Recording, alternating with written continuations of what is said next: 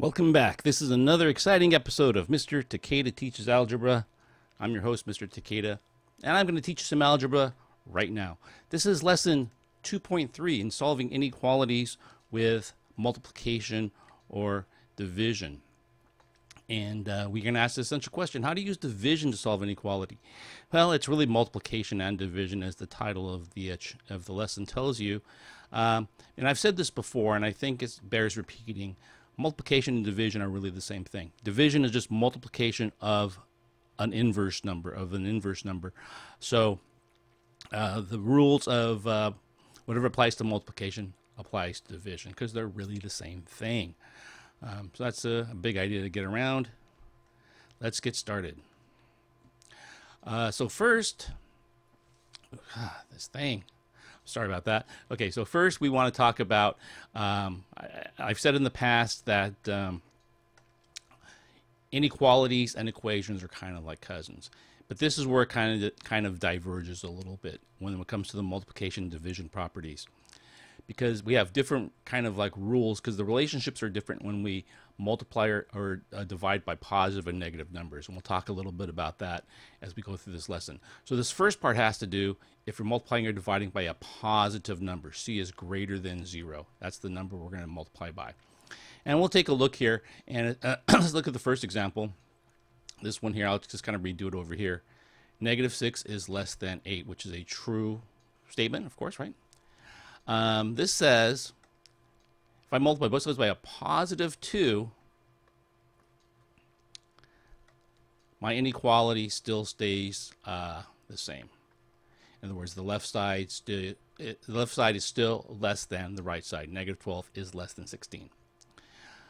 Uh, when it comes to uh, divi uh, division, let's look at this example for division.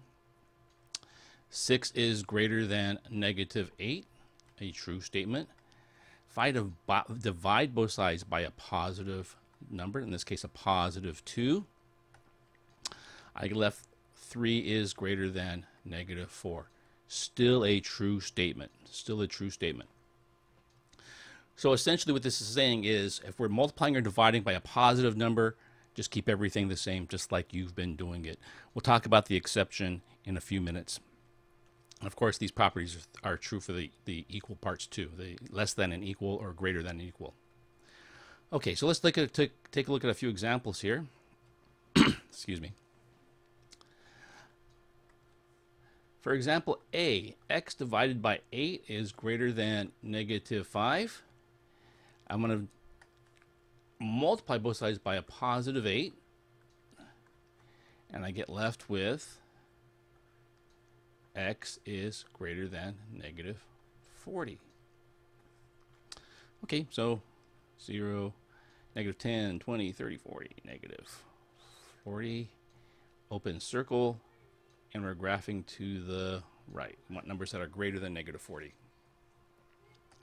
For example, b, negative 24 is greater than or equal to 3 times x. I can divide both sides by a positive 3 here. And that gives me negative 8 is greater than or equal to x. And if I wanted to uh, think about this again, if I if I want to flip this around for graphing, x is less than or equal to negative 8. Um, so let's see. 0, 2, 4, 6, 8, negative 8. Let's call that negative 8. Um, solid dot, and we want the numbers that are less than. Negative 8, so we're going to the left. And we put boxes around our solutions because, well, that's the part that says that's the one you want me to grade. So we'll make sure we put boxes around our solutions. Okay, so let's talk about uh, negative numbers here. Let's talk about negative numbers we're dividing or multiplying by numbers that are less than zero in order to solve. So we have to take a look at the effect of what that has. So we know that when we uh, divide by a negative number, a positive divided by a negative becomes a negative, a negative divided by a negative becomes a positive. So signs start changing around. So let's take a look at this first example here. So negative 6 is less than 8. Now, if I multiply both sides by a negative 2, in this case, a negative number, let's take a look at what happens here. This side is negative 12. This side becomes, um, I'm sorry, this side's positive 12. This side is negative 16, right? Now, which side is less? The right side is less. So we have to reverse our inequality symbol around. That is the one big difference between equations and inequalities, multiplying or dividing by negative number. This little section right here, this is a very important, uh, a very important lesson because this is the, the exception to what we've done before. 6 is greater than negative 8. Okay, so we're going to divide both sides by negative 2. A positive divided by a negative becomes a negative. A negative divided by a negative becomes a positive. Which side is less? This, the left side. Right, so we have to uh, we have to reverse the inequality symbol around when we multiply or divide by a um, negative number. Okay. And again, that's multiplying or dividing both sides. So it's in, the, in my examples here, it's the red numbers. It's the one I'm dividing by or multiplying by. Okay. So a lot of kids get that's confused. They'll see like a negative 8 here and they want to reverse the inequality symbol. Again, it's not this number. It's the ones I have here in red. Okay. Let's take a look at some examples here. Um, let's see. I think I can just move this one. Okay, so I'm going to multiply both sides by uh, negative 3 in this case, right? Because I want to isolate that y.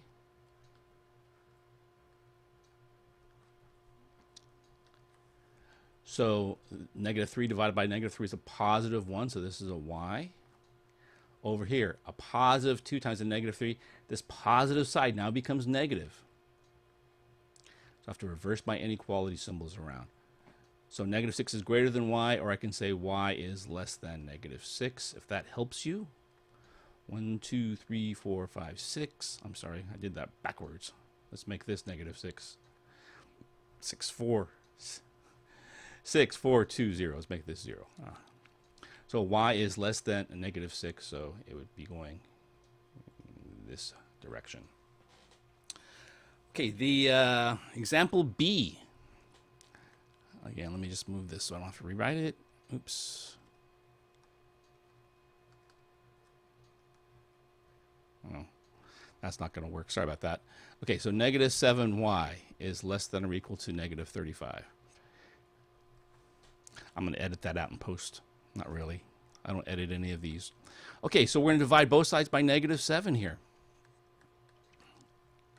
What does that give me? Y, and this side, this negative side, this negative 35 side becomes a positive 5. I have to reverse that inequality symbol around. So you're going to look, so what, what happened here? In the original, in the, in the original uh, equation, both sides are negative, right? assuming y is positive. But both sides are negative, but now they both change signs. So um, that's that's the other thing is the side changes from positive to negative. So y is greater than negative 5. Um, I won't waste time graphing that. Let's move on. Oops. Ah, so touchy. Here we go. Uh, example 3 from page 70. You earn 950 per hour at your summer job. Write and solve an inequality that represents the number of hours you need to work to buy a digital camera that costs 247. All right. Well, what is that saying? That is saying that uh, 247 is kind of like our goal, but whatever we earn, so when put whatever we earn on the left side, whatever we earn has to be greater than or equal to 247. Well, 950 per hour times what are we looking for? The number of hours. So this is be 9.5 times, I'll use H for hours. Um, I'll go ahead, go ahead and let you finish solving that out. Um, it is it is in the book, and um, comes out to be like 26 or something like that. Actually, let me uh, let me bring up my calculator here. So unprofessional. 247 divided by 9.5 26 yeah so h is greater than or equal to 26 so you need to work 26 or more hours. So um, when we answer the question here when it says okay so this is write and solve. Okay so the the we're not asked to actually answer this question. We're just asked to write and solve this inequality. So there's the first part there's the inequality and there's the solution. Sometimes they'll ask you the question, how many hours do you need to work? And then in this case, the answer would be 26 or more. Okay, so before you go, go ahead and pause it and solve these, and I'll have you put the answers into the uh, into the pod.